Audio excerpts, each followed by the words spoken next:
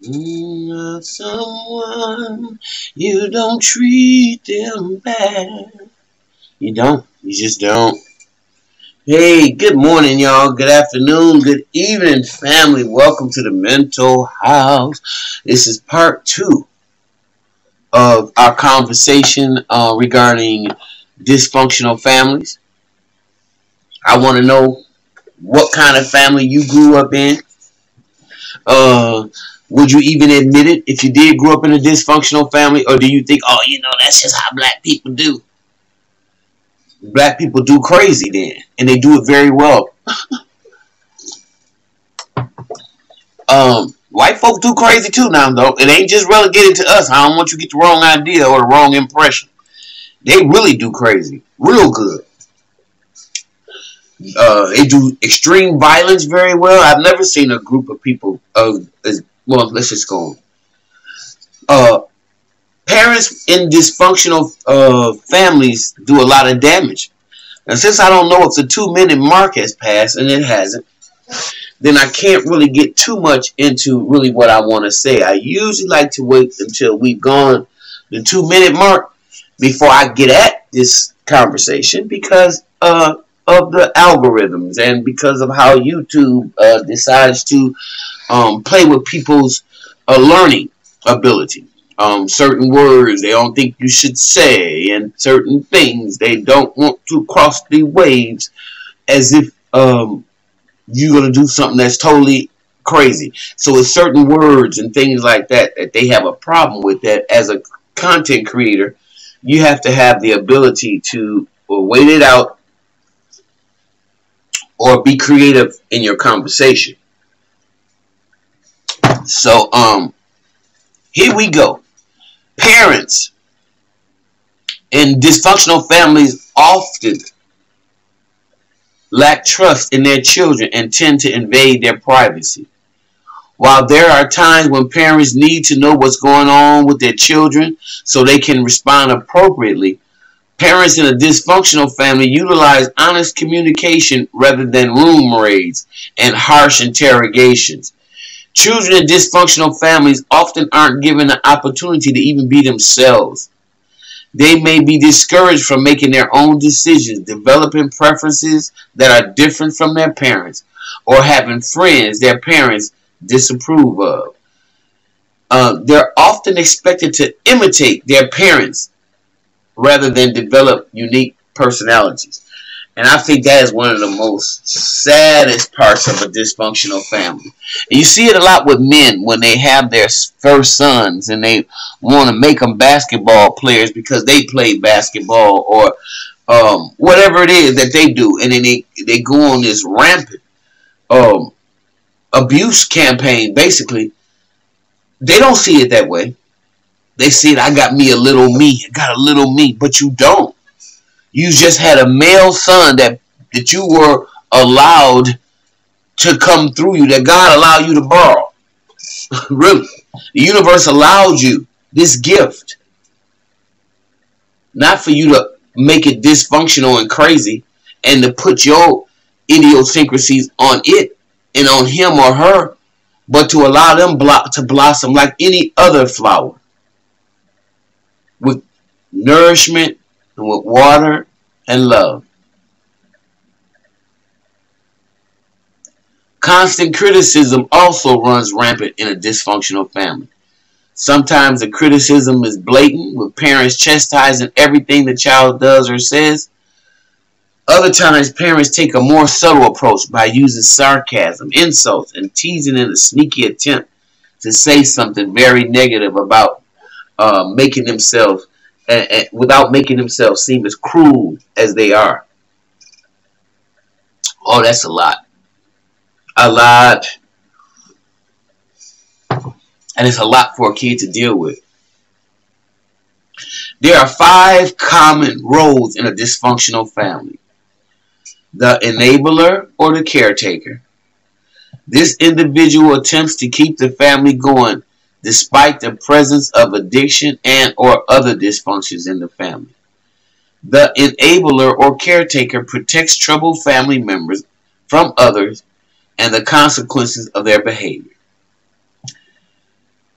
The scapegoat or the troublemaker. This family member tends to be a rule breaker, both in society and within the family unit. The scapegoat or troublemaker may become sick or weak or angry and rebellious. This individual's well-being is often sacrificed to maintain the family structure. The lost child or the quiet one.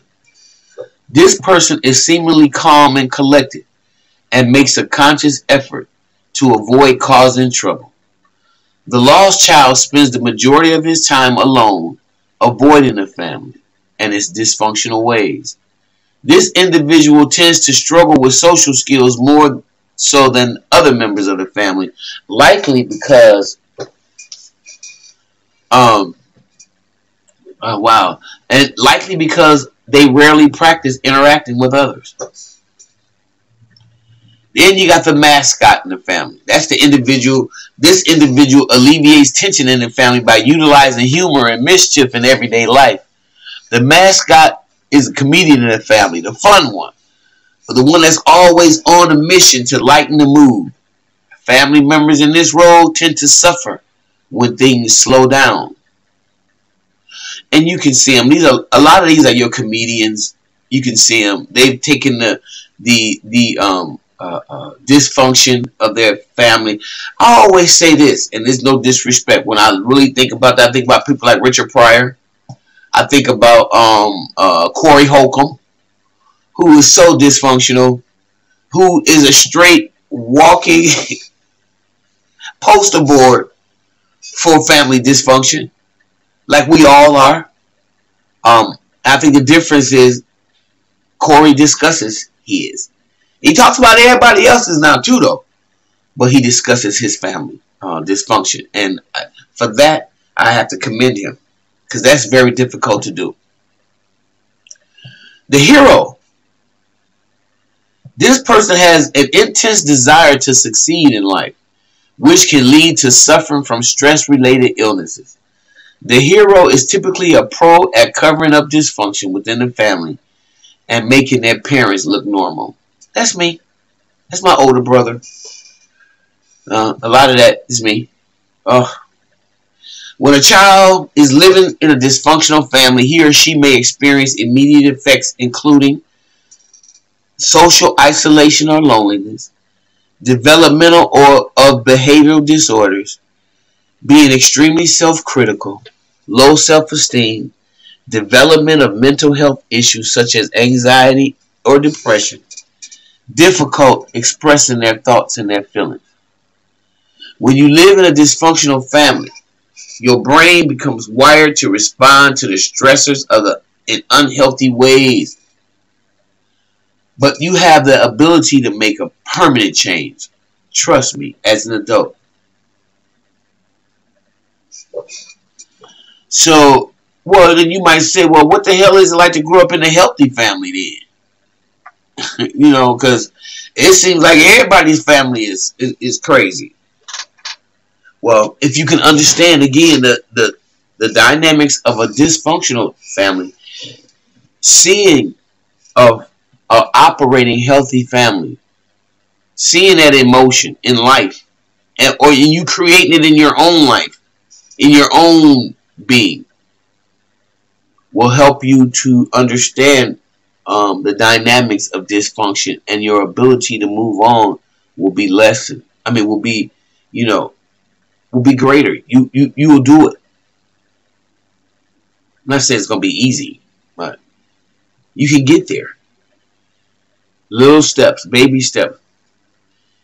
If you focus on the dysfunction quotes that you see on the internet, the media, from the entertainment industry, even in great literature, you might get the impression that there is no such thing as a healthy, functional family life. But that's a lie. However, some families function very well, providing every member with what they need to live in a peaceful, productive life. So what does a family, healthy family look like? You want to know what a healthy family looks like? People communicate freely and openly, but compassionately as well. Everyone's basic physical and emotional needs are met. Mm-hmm. Everybody's basic physical and but you don't just go cater to one. Family members listen to one another and appreciate differing opinions. You know, not my baby did it. My baby said it's okay. Don't do nothing to my baby. And y'all know y'all did it. Come on over here, uh, Michael. Let me hold you. You come on over here. Come on, come on. And you protect them from the rest of the family members. Conflicts are resolved directly, and family members don't hold grudges. Parents show unconditional love for each child. And when they don't approve of specific behaviors, they still show unconditional love for the child. Family members work together to reach mutual goals, and they achieve goals as a family. Each family member is encouraged to develop preferences, interests, and a unique personality.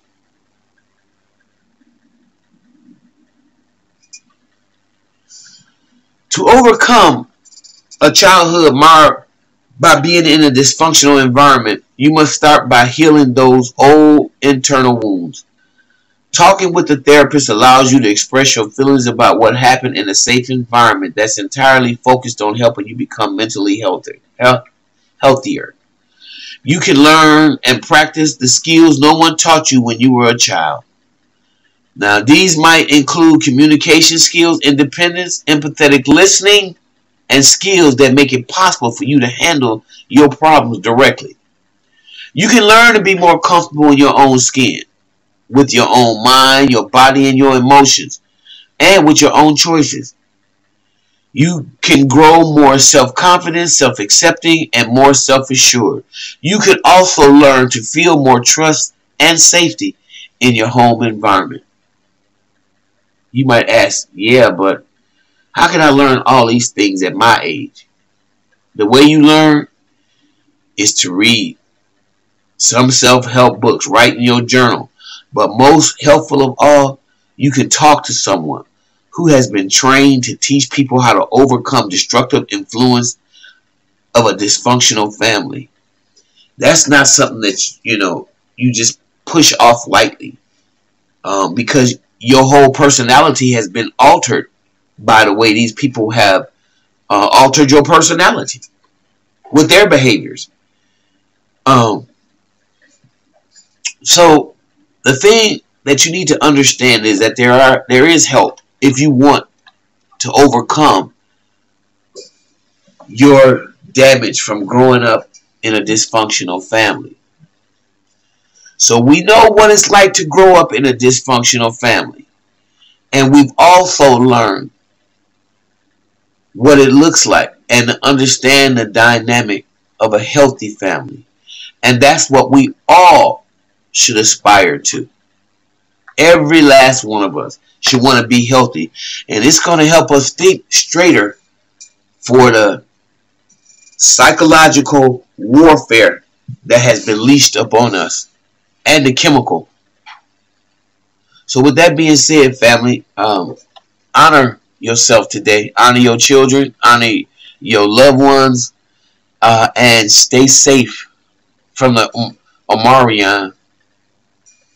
Y'all give me y'all comments. Please tell me what y'all think about these comments. And if you grew up in a dysfunctional family, I want to know what that looks like. What did it look like for you? What was your what is your experience? What have you had to work to overcome being brought up in a crazy family? You ever thought about people who grew up in a family where everybody fucking steals? Everybody in the house steals. Growing up in a house like that is got to be it's insane. Right? But there are some of us who grew up in, in, in home, homes like that. And we were learned, taught how to steal in homes like that. Oh, I wasn't. But I'm saying there are some families who their parents taught them how to steal.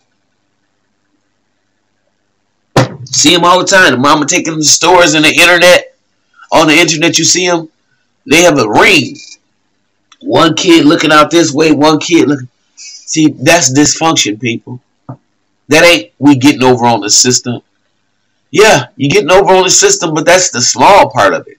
The other part about it is, as an adult, as a leader, you are ruining your kids' mind and teaching them so severe dysfunctional attributes that it's going to be hard for them to break them as an adult. So I want to know what y'all think. Leave your comments below. And if you like what you hear, y'all, please subscribe and please share to the channel. Um, uh, uh, please donate to the channel. And we'll see you in the next video.